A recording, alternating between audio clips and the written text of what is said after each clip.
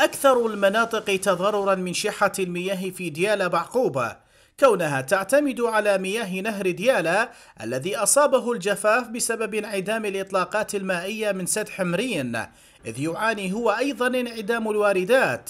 كل هذا والبعض من المواطنين وأصحاب المطاعم لم يلتزموا بترشيد المياه.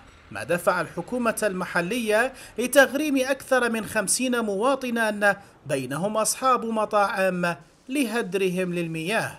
هناك فرق جوال قامت بالتجوال في مدينة معقوبة لرصد حالات التبذير والإسراف وتم تغريم أكثر من 50 شخص وصاحب محل أو مطعم وفق القرار 296 آه، والذي يخول رئيس الوحدة الإدارية بالغرامة من 50 ألف إلى 500 ألف.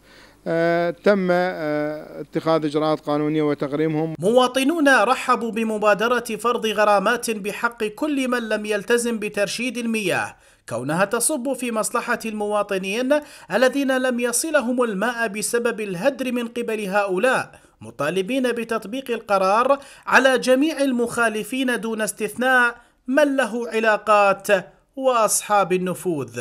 عموم محافظة دياله وخصوصا بعقوبه تعاني من أزمة انقطاع مياه الشرب.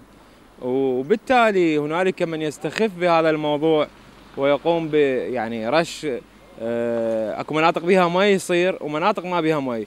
الناس تطلع ترش مع الأسف مطاعم ومولات وحتى بيوت. ديالا أكثر المحافظات تضررا من شحة المياه. وذلك لاعتمادها على الواردات التي تصل من إيران وبعد أن قطعت الأخير الواردات فالوضع يزداد قسوة إذا استمرت الحكومة بهذا الصمت. علي إبراهيم قناة دجلة ديالة.